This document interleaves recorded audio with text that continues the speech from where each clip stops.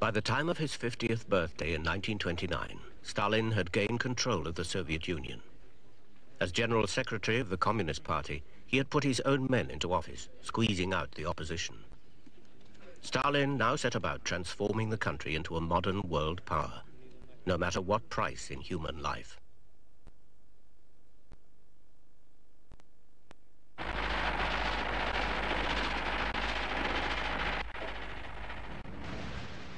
We are 50 or 100 years behind the advanced countries, Stalin said.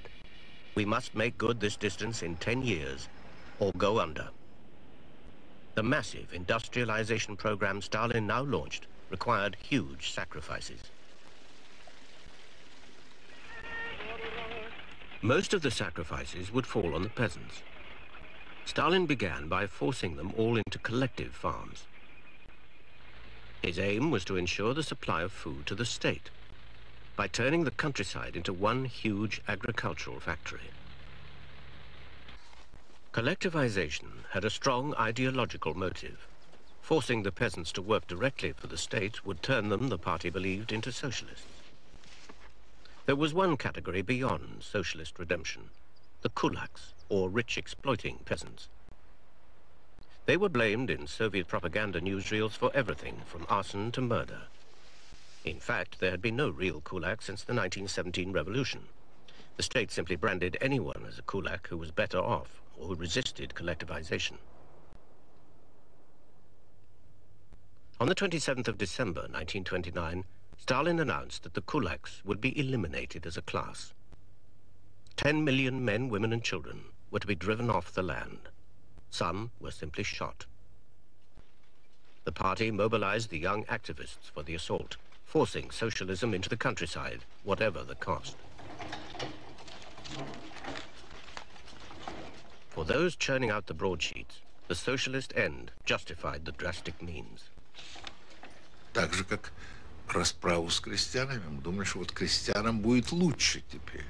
Вот кулаков выселили, в колхозы людей загнали, и вот теперь они постепенно станут социалистами. Я сейчас понимаю, что это было, это было преступление у карьеристов, у холодных людей. Это было преступление двойное. У нас, у глупых или самообманутых, обманывающихся или обманутых мальчишек – или полуграмотных идеалистов, это было преступление невольное, но тем не менее очень большое. Abdurrahman Avtokhanov witnessed the effects of this crime during a stop on a train journey in the early 30s. Бесконечное поле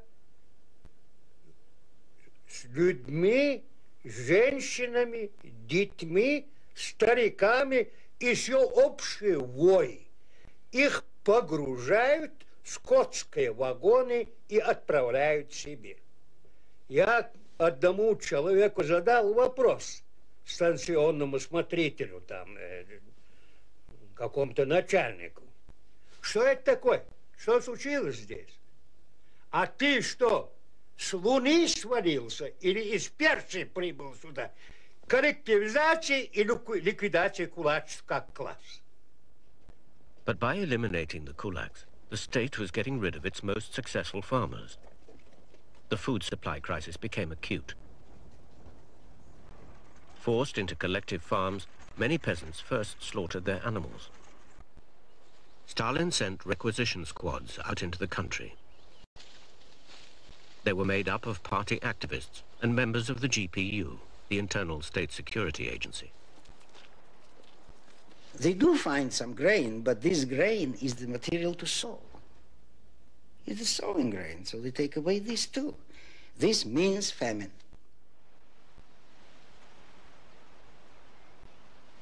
The most fertile parts of the Soviet Union were the hardest hit. The famine began in 1932, spreading across the Ukraine, the Kuban, and the areas of the Don and Volga rivers. A vast stretch of land with 40 million inhabitants. The requisition squads descended without mercy on villages and collective farms. It didn't matter that a family had given up all the food it had for its own survival.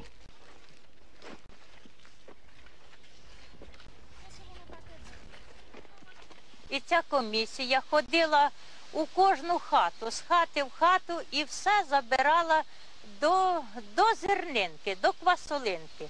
І так же поступила і з нашою сім'єю.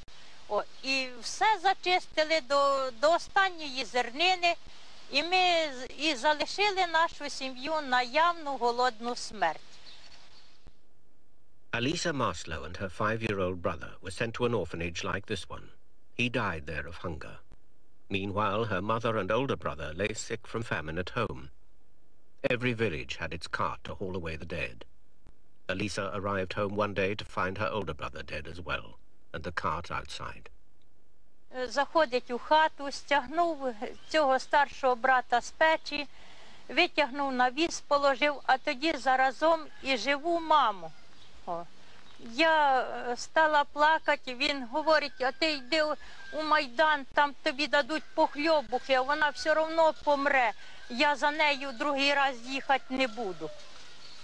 О, і так ми, і так я за, за, пішла, плачучи на цей, на цей колгосп, цей майдан, і залишилася круглою сиротою, без ні, нікого. News of the famine and the mounting death toll reached Stalin from a number of different sources, including the GPU. But Stalin paid no heed. There was no hope of aid from abroad. Malcolm Muggeridge, almost alone among Western journalists, visited the Ukraine, reported what he saw, and left immediately. Other reporters were too worried about being thrown out of the country to cover the famine. Many Westerners, like George Bernard Shaw, visited in the early 30s and saw no hunger. Shaw was mightily impressed.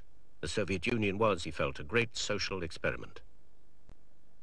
By 1933, millions were dead. There is now no doubt that the famine was man-made by Stalin. The price of Stalin's vengeance was between five and seven million dead from the famine. In this one small Ukrainian village, over 360 men, women and children died. Still remembered, still mourned.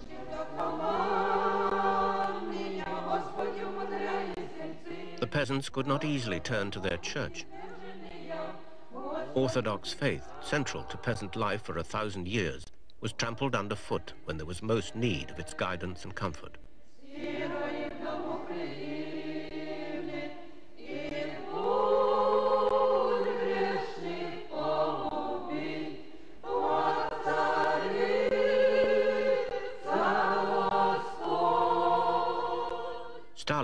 Trained as a priest in his youth. He now presided over the virtual destruction of religion.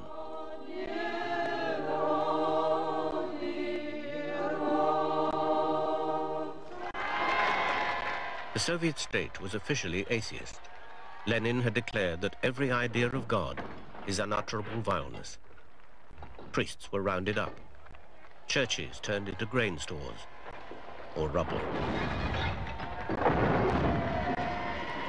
The Soviet state had no use for old theology. It had its own. Industrialization was the new faith. Factories were its cathedrals. Its priests were the elite workers who smashed production targets and led the way to the future.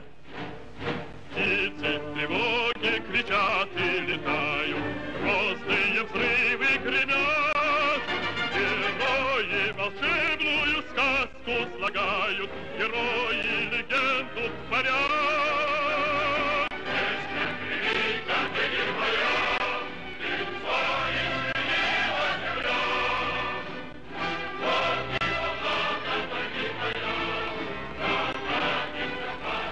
Not all who built cities like Magnitogorsk were superheroes. Many were peasants exiled as kulaks. Unskilled and untrained, they faced severe problems in adapting to industrial processes. These problems were interpreted by the state as sabotage. Я ни разу не видел, чтобы кто-нибудь из рабочих, из инженеров занимался вредительством. Я видел людей, не умеющих работать, и в силу этого допускающих ошибки, промахи, поломку машины. Stalin used show trials designed to publicize the threat of wreckers. Engineers and managers were rounded up and accused of fictitious conspiracies. Instead of relaxing tempos, Stalin increased them. Production lines were halted not by traitors, but by a lack of the right parts, often matched by too many of the wrong kind. The first tractor proudly wheeled out of the Stalingrad tractor factory was a dummy. So delayed and mismanaged was the production schedule. Managers who pleaded for more realistic planning were accused of wrecking. Initiative was paralyzed. Skilled people were shot or sent to the camps. There had been prison camps in Lenin's time, but under Stalin, the camp network, known as the Gulag, grew. By 1931, the Gulag held nearly two million men and women.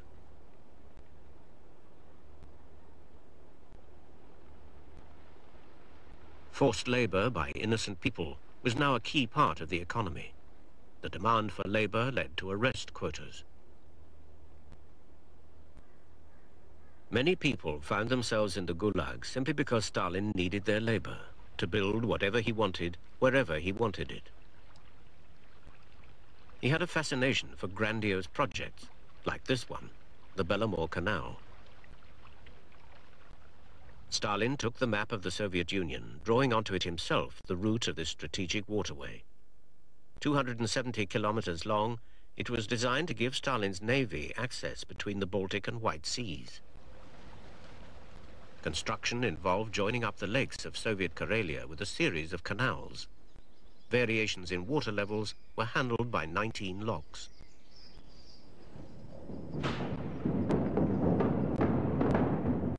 Building the Belomor Canal involved a quarter of a million prisoners. Peasants, priests, criminals, academics, men and women. Innocents counted for nothing. To keep costs down, the GPU spent no hard currency abroad on heavy equipment. It was all built by hand. Pile drivers were powered not by steam, but by people, forced into giant human treadmills. Никаких даже рукавиц не давали. Это голыми руками. Тащили тросы это металлические тросы. И причем многие тросы, вернее, все они почти были старые, колючие, эти, они же проволочные, из тонкой проволоки, все были изранены, кровь течет. Эти люди падали, травм много, не, не приспособлены ничего, и все это люди не умели. Вот. Ну и, конечно, это была невероятно тяжелая работа, каторжная. The guard shot anyone who tried to escape. Food was rationed according to work output, ensuring the death of the weak and ill. The terrible cold and sheer exhaustion killed the most. Burial was rudimentary. Bodies were simply tossed into ditches. Уже к весне, когда уже таять стало, то руки, ноги и головы, прямо это же близко все-таки 100-150 метров, прямо все это просматривается, это торчат торчат из, из-под снега, из зимы, и из этого, из земли, и уже воронье там летает над ними, еще они, можно сказать, были заморожены, свежие, и их там клюют. Opening day, August 1933. The prisoners anxiously awaited their release as promised. But tens of thousands were not freed, kept on to maintain the canal or else transferred to other forced labor projects. Stalin came to open the canal himself. He is said to have been disappointed with his brainchild. It turned out to be too shallow and too narrow. It froze solid half the year and was bombed by the Germans early in the war. Over 60,000 men and women lost their lives building it. Stalin's policies and despotic methods were now being called into question. Some dared discuss his removal from office. There were criticisms of Stalin's policies close to home. From his second wife, Nadezhda Alliluyeva. She was 22 years younger than Stalin and studying textile production. They did not get on well, and Nadezhda was highly strung. One night in November 1932, after a public row with Stalin, she shot herself dead. Stalin's response was one of bitter resentment. He went up to her coffin at the funeral and made as if to push it away, saying, she left me as an enemy. One man in the Politburo seemed a possible rival to Stalin, his close friend Sergei Kirov, the popular Leningrad party boss. In 1934, delegates gathered for the 17th Communist Party Congress in Moscow. There would be a crucial vote for re-election to the party's Central Committee. Some delegates saw this as a chance to replace Stalin with Kirov. A group of Leningrad party members had met privately to plan this strategy at the flat of Nikolai and Natalia Rodionov. перебирали, какая, какие делегации, сколько голосов, сколько всего будет делегатов, и какой процент голосов будет, безусловно, за Сергея Мироновича. Ну, там вспоминали Ивано-Вознесенскую область, Закавказье, ну, Ленинградская, само собой, потом э, Казахстан и э, Астрахань. Но остальные я не помню еще. Они подсчитывали, сколько в каждой делегации примерно лиц, и будет, сколько будут говорить за, за Кирова. Против Сталина я ничего не слышала, ничего не говорилось. Просто, значит, они хотели, чтобы был Киров первым секретарем. Kirov was also secretly approached by senior party figures and asked if he would accept the post of general secretary. Было тайное совещание, на котором Кирову предлагали стать на место Сталина генсеком. Конечно, после этого Сталин, когда узнал, он решил его устранить. И Киров это сознавал. Когда он вернулся в 17 съезда, он своим друзьям и родным говорил, что моя голова теперь на плахе. Kirov refused the offer. It was at the voting in the Congress for membership of the Central Committee that Stalin got the true picture of his popularity in the party. When the ballot boxes were opened, only three votes were cast against Kirov, but 292 people voted against Stalin. Stalin's loyal henchman, Lazar Kaganovich, was taken aside and told about the problem. Kaganovich made the necessary arrangement to ensure Stalin received the same number of votes as Kirov. Мы вскрыли с разрешения Политбюро пакеты С бюллетенями и установили, что не хватает 289 бюллетеней. А ведь э, когда докладывали на съезде, сказали, что три. Значит, 3 и 289, значит, он получил 292 против. А сейчас фальсифицируют, что неизвестно. Он, может быть, только 3 получил. Потому что уничтожили документы. Бюллетени сожгли.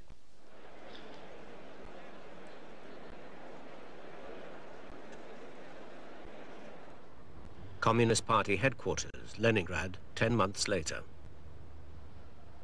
On the 1st of December 1934, Kirov was working in his office. A 30-year-old misfit named Nikolaev entered the building and went up to the second floor. Kirov's office was near the end of the corridor. Они вышли здесь в кабинет, как раз муж стоял и разговаривал с этой Скатей. И в это время раздался выстрел. Они выскочили в коридор и увидели, что Сергей Миронович падает, как раз против дверей. Ну, это может быть метров в пяти от, от дверей моего мужа. Kirov's colleagues were quick to grab hold of Nikolaev.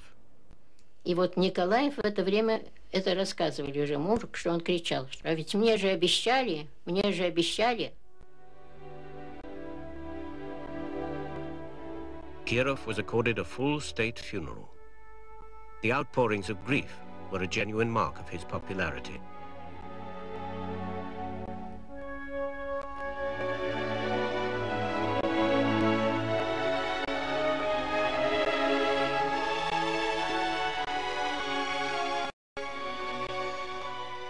Stalin's response to the news of Kirov's murder was a decree ordering the immediate death penalty for acts of terror with no possible reprieve.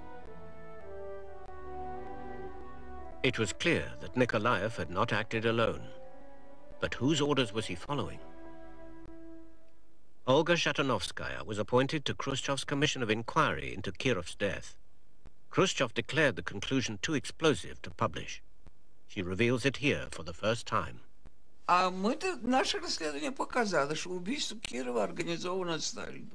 что это было не первое покушение, это было третье покушение уже.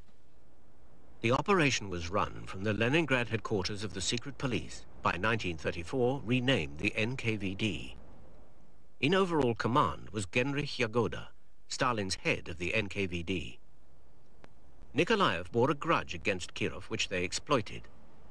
He was given extensive training, including target practice. Он же на допросе у Сталина это сказал все, что меня четыре месяца работники НКВД готовили, уверяли, что так нужно для партии и государства.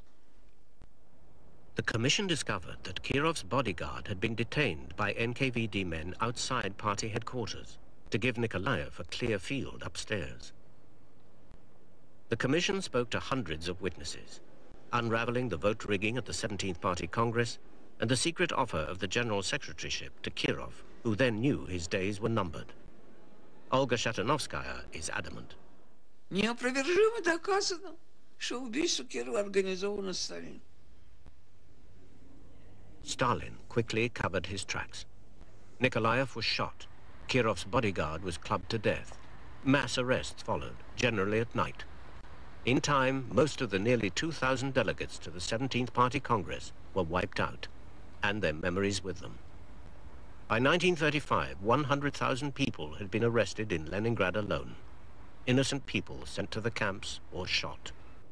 In this frame of mind, Stalin turned upon old defeated rivals, starting with Zinoviev and Kamenev, party veterans from the earliest days of Lenin. Show trials became Stalin's device for proving that the Soviet Union was surrounded by enemies and infiltrated by spies. This then justified further repressions. Zinoviev and Kamenev appeared in a show trial like this one, accused of murdering Kirov and conspiring with Stalin's arch-enemy, Leon Trotsky, exiled abroad. They were shot in 1936. The export of communism abroad had been Trotsky's idea. In the early 30s, the Comintern, the international party organization, had tried to foster revolution in countries like Germany. But Stalin was suspicious of foreigners and of all contact with them. Rather than supporting the Comintern, he undermined it. Loyal Comintern agents were now rounded up. Я была, даже был момент, когда я думала, и я долго придерживалась этого мнения, что они меня арестовали перед тем, как послать меня на такую серьезную подпольную работу как коммунистку, чтобы проверить, э, как я себя буду вести, если я окажусь в очень сложных условиях. The Soviet Union turned in on itself, looking no further than its great leader for inspiration.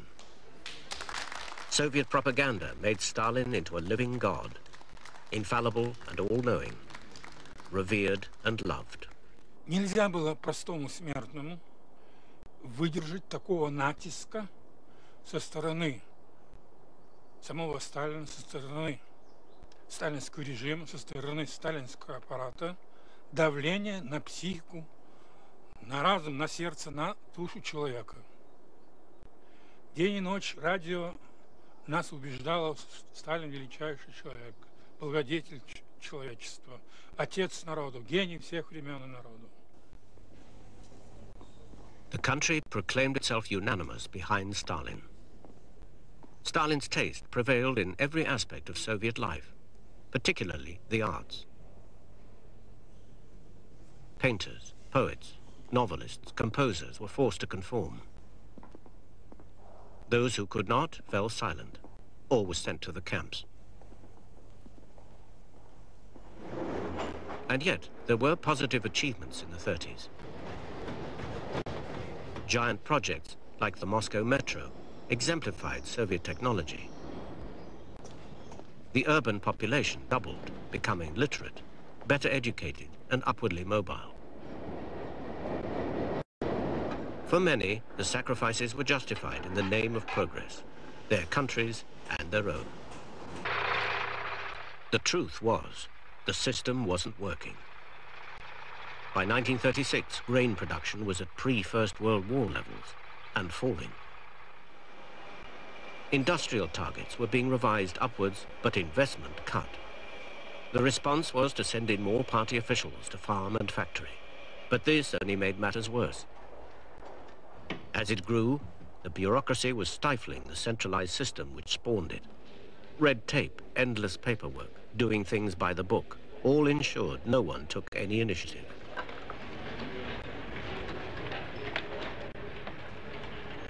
People were loyal to the boss and to their own position and privileges. Getting things done came last. Вот это еще к тому же имело внутреннюю закономерность разложения. Чем больше строят, тем труднее управлять сверху. Потому что контроль снизу по существу отсутствует. Ответственности верха перед низом нет. Ответственность есть только снизу вверх, перед начальством. Понимаете? И чем пирамидальнее, чем больше, шире эта пирамида, тем хуже она работает. Stalin had an explanation for these failures in the system he himself had created. He was convinced that enemies of the working class were to blame. The Soviet state had tried to get rid of all other social classes, but some elements clung on. The fight against them, he said, had to be intensified because they would fight to the death, but not in open fight. They would strike anywhere at any time. The country had to be on its guard day and night. Anyone might be an enemy of the people. Stalin turned to the secret police, the NKVD. Run from the Lubyanka in Moscow, totally loyal, utterly ruthless. An empire in itself, not just prison camp guards and torturers, but people who mended the vehicles, who typed the orders for barbed wire. All part of the system. Yagoda, organizer of Kirov's murder, was out of office and doomed. But Stalin could rely on the new boss, Nikolai Yezhov, to do his bidding. Of course there will be victims in this fight, Yezhov told his men. When you cut down the forest, wood chips fly. The ground was prepared. The highly restrictive Tsarist system of internal passports had been reintroduced. The state could now monitor and control all movements inside the country. New repressive laws had been passed, making almost anything imaginable an offense against the Soviet state. Punishment, including execution, was now extended down to 12-year-olds. But if enemies of the people could be anywhere, how to find them? Informing, even by children, provided the answer. Olga Balikina, a young pioneer, denounced her father to the authorities for stealing on the collective farm. She became a heroine overnight, showered with approval and gifts. In the adult world, informers received part of the assets of their victims. It was a way of making money and settling old scores, taking over someone's apartment, their job, even their husband or wife.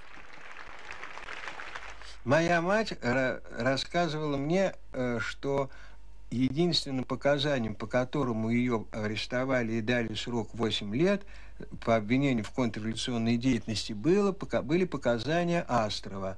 Она пришла со слезами, она не знала прежде об этом, она пришла со слезами и, и говорила, что какой ужас, как он мог. Как он мог, он же знал, что этого не было. The man who denounced Eichenwald's mother was Valentin Astrov. Ну, анализируйте все эти причины. Но факт остается фактом. Народу-то я не изменял ведь тому, когда это делал. Потому что весь народ так думал. А по существу, конечно, изменял, получается. Сейчас я вижу. И это мучительно очень. Astrov agreed to turn informer after a spell in prison and the removal of his party card. Позором сотрудничать с советскими социалистическими органами безопасности я не считал никогда и не считаю. И раньше не считал, когда не, не, не, писал, не давал этого обязательства, не, не во время, когда я выдавал, и когда сейчас. Это для меня была единственная ниточка, которая меня связывала с моей партией. The NKVD vans were known as the Black Ravens. They generally went out at night.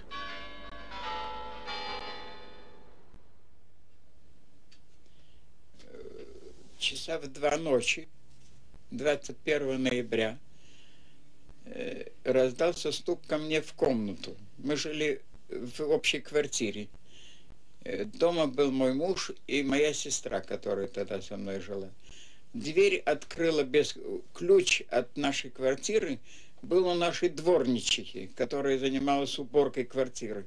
И она без звонка открыла дверь и подвела прямо к нашей комнате, что было довольно жестоко с ее стороны. Э, пришли э, два человека и делали тщательно, но мы спали. Они меня арестовали и привезли меня на Лубянку. Stalin legalized torture as both justifiable and appropriate.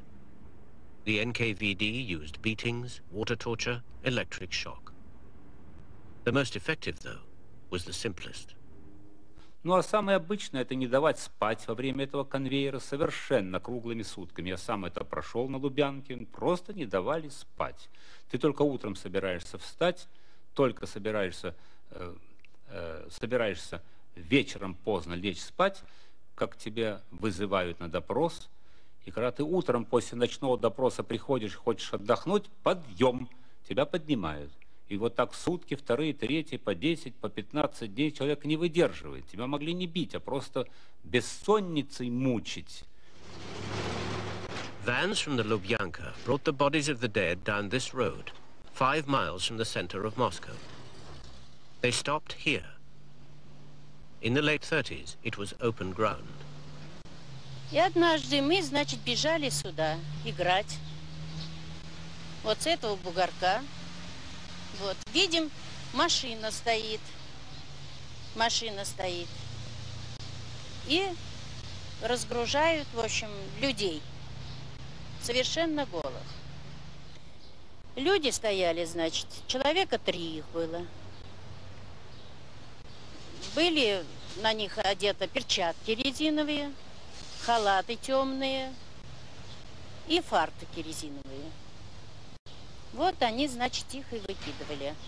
У них в руках э, были крючки, они и крючками их выкидывали. For those who survived interrogation, the next destination, and for millions the final destination, was the Gulag.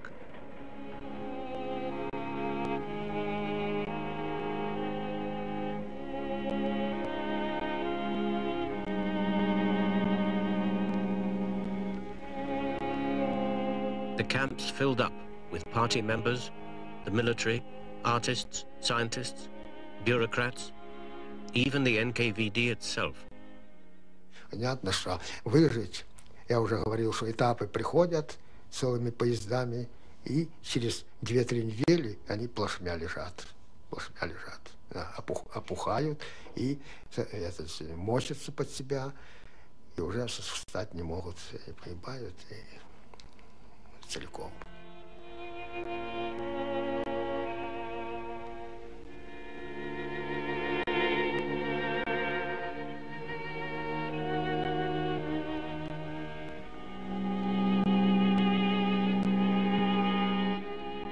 Survival exacted a terrible toll, as Olga Schlossberg realized when she finally got to a bathhouse with a mirror.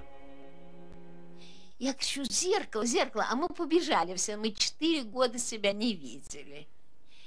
Ну и все без платья, все голые, бежим к этому зеркалу.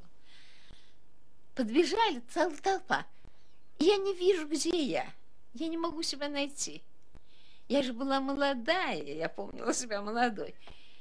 И вдруг я увидела глаза моей мамы и седую голову с проседью сильной. И я поняла, что это я. The camps spread across the land in clusters, the gold mining camps in the Far East, with a special camp for torture and execution. Igarka in Siberia, with its lumber and port construction. Railway building in Pechora, coal mining in Vorkuta. Bitterly cruel regimes in the harshest climates. The punishment of millions of innocent people. Many thought that Stalin knew nothing of the terror. If only he could be told, they said, he'd soon put a stop to it. Можете рассчитывать на то, что товарищ Сталин сумеет выполнить свой долг перед народом.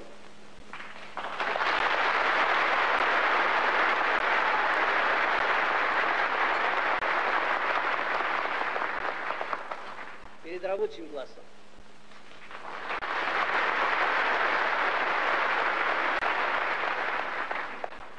Перед крестьянством.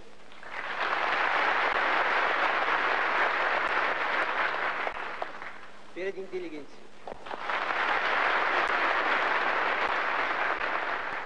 But Stalin knew all about the terror. Я собственными глазами видел десятки, сотни документов, на которых стоит роспись Сталина, утверждение огромного количества списков к смертной казни. Наиболее потрясающие я такой документ, группу документов нашел, когда 12 декабря 1938 года Сталин и Молотов подписали около 30 списков, но общей, общей численностью 3182 человека. 3182 человека к смертной казни в течение одного дня. И после этого, как я подсчитал, мне многие дни известны по часам даже, чем Сталин занимался, он пошел с Молотовым смотреть свой очередной ночной фильм. Stalin's daughter Svetlana once interceded to save the life of a school friend's father. She was told never to do it again. By the late 30s, Stalin was increasingly capricious. He could be open, charming even, but his moods were ever more dark and suspicious. Alexander Avdyenko, now a writer, was hauled before his hero for a film script Stalin didn't like. Сталин, а я его видел в метре от себя. Он все время ходил вокруг, мимо меня. Он все время обращался ко мне, тыкал в меня трубкой, пальцем, не сводил с меня глаз. Гневный, желтый глаз, нечеловеческий глаз хищника. И очень громко разговаривал, кричал. У него была пена на губах. Он гневался, как бог Саваоф. Он был абсолютно не похож на того Сталина, которого я привык видеть. There were still old enemies. The remnants of the leadership under Lenin were subjected to the biggest show trial of all, as Stalin tried to obliterate the parts of Soviet history he didn't like, in which he hadn't been the hero. The main accused were Lenin's old colleagues, ex-Prime Minister Alexei Rykov and Nikolai Bukharin. Bukharin had been the party theoretician, educated and popular. He and Stalin had ruled the Soviet Union together in the 1920s. Stalin had pushed him out of office and now wanted him dead. First, Bukharin had to be denounced by Valentin Astrov. Была очная ставка с Бухариным, где я пытался, так сказать, доказать ему, что надо признать такой смысл, подтекст этого был, что надо признать это, вот, что мы обязаны это сделать, раз партия этого хочет. Но смысл именно тот, что это ради ради социалистической родины, ради партии это сделано. The trial was a sham. The witnesses were bogus and their evidence false. Bukharin confessed to a general conspiracy charge, but turned the tables on the court by denying the detail of the accusation. His final speech expressed his complete loyalty to the party. Yet the motive behind his confession was perhaps less duty to party unity than fears for the safety of his wife and young child. Ну, не знаю. Может быть, Николай Иванович заработал мне жизнь все-таки. Не знаю. Так что очень многие, множество сил действовало. Потом пытки. И, несомненно, э, было колоссальное э, количество показаний против Бухарина, против Рыкова, потому что в первую очередь нужно было их убить. И они достигались ужасающими пытками. И это уже теперь доказано. Что касается Николая Ивановича, я слышала, что его физически не пытали, но насколько это верно, я не знаю. Ну так, может, пытали Рыкова. Если Рыков уже дал показания, это, это, это было страшным ударом. Я не знаю, кто первый дал показания. Это трудно сказать. Но так или иначе, одно то, что они могли показывать друг против друга, уже говорит о том, какие методы к ним применялись. Stalin's chief prosecutor, Vyshinsky, summed up the spirit of the times.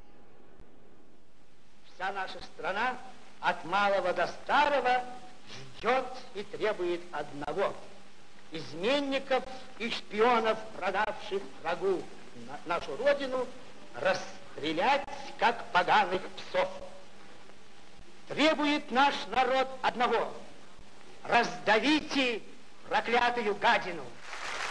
Bukharin, Rykov, and most of the others were shot. Bukharin's wife, Anna, spent over 20 years in the camps and Siberian exile. She did not see her baby son for 19 years. Trotsky in exile in Mexico was top of Stalin's hit list. Trotsky had been the leading figure alongside Lenin in both the revolution and civil war, a place in history Stalin bitterly envied. Trotsky tried to convince a world largely seduced by Stalin's propaganda that Stalin was in fact a dangerous despot. Stalin's trial against me is built upon false confessions extorted by modern inquisitorial method in the interest of the ruling clique. There are no crime in history more terrible in intention or execution than the Moscow trials of Zinoviev Kamenev and Radek Pyatakov. These trials developed not from communism, not from socialism, but from, from Stalinism. That is from the irresponsible despotism of the bureaucracy over the people. Trotsky's house in Mexico City was heavily fortified against attack. But in May 1940, he and his family narrowly escaped death when NKVD gunmen sprayed the bedroom with bullets. An NKVD assassin then infiltrated Trotsky's circle under the name Jackson. On the 20th of August, he went into Trotsky's study and plunged an ice pick into his head. Jackson spent 20 years in prison, but was rewarded by Stalin with the Order of Hero of the Soviet Union. The decade had begun with terror in the countryside, forced collectivization, the elimination of the so-called kulaks, the man-made famine.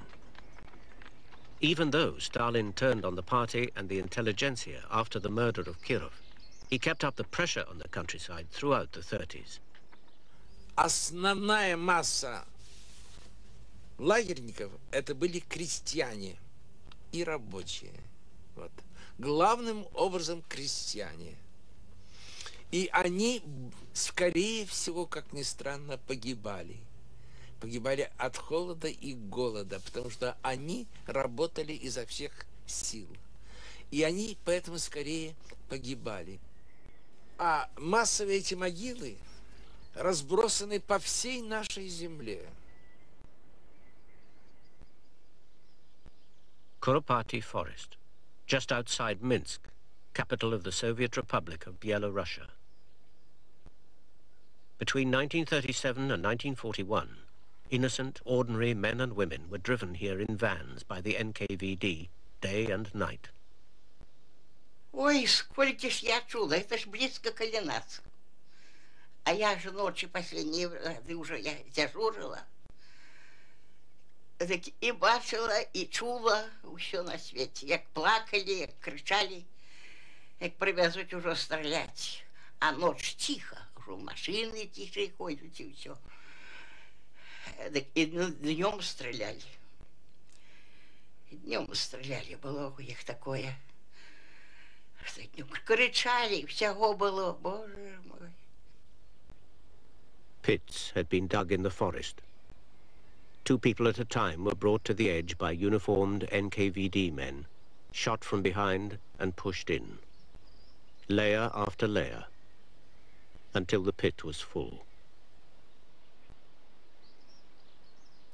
Калі ў зімовай магіле людзі адзетыя былі ну зімовую вопратку яны займалі больш месца там чалавек 150 умяшчалася а ў летніх магілах да 260 чалавек усіх жа магіл у курапатах я уже тысячи э, 10 метров. таких могилах тысячи человек расстреляны и At least 100,000 men and women were killed in Kurapaty forest. Zenon Posniak believes the total may be as high as a quarter of a million, and they are finding other forests like Kurapaty. No one will know how many died under Stalin in the 30s until Soviet archives are opened. Maybe not even then. Estimates range from 8 to 14 million people killed. Even children were in the camps. Мы гуляли по территории Карлага, возле колючей проволоки. Мы боялись выйти за эту зону. Мы ее так и называли за зоной. Потому что за зоной опасность, а в зоне, видать, ее не было. Сидели охранники наверху. Они нас наверняка охраняли. Это было счастье.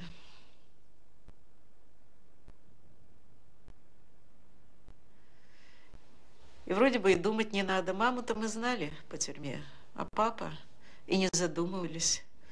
Есть ли папа? Stalin, Papa. The country was caught in a nightmare. Children were locked up, but so too was the wife of Kalinin, president of the Soviet Union.